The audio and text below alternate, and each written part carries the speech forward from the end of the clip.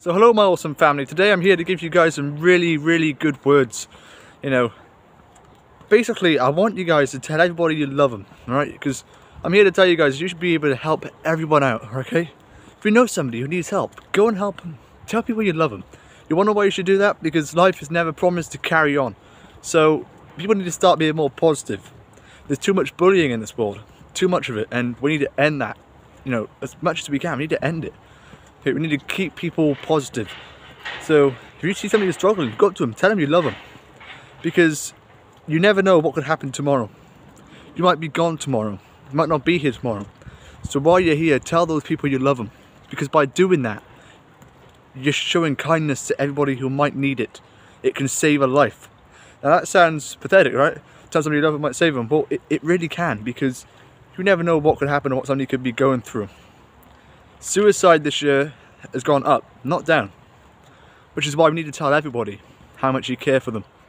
I want to see all my fans doing that. I want to see that if you know somebody is struggling, I want to see my fans and hear that they've went up to somebody and told them you love them. Because by doing that, you can honestly save a life. Sounds pathetic, but you can. And not just that, if you know somebody who's homeless, help them out. Because these days, a lot of people who are homeless, you, you think they're just on the street begging for money. But if you know somebody who's truly homeless, you can help them out. Just by buying them a small little coffee when you walk past them every few days. That can really help them out. Imagine how much that person can feel if they can appreciate a coffee in the morning. where as you get one all the time because you know these people in your houses you can go out and buy coffee you can have coffee anytime you want but these homeless people they don't have kettles they can't make their own coffee so when you guys do buy these people a coffee, you might actually cheer them up really, really, you know, really, really much.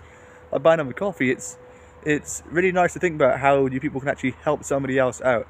So this is a little message to all of you fans that I want to see you all helping people out and hearing that you help people out because we at Ghost Hunters XX UK, we show the most respect.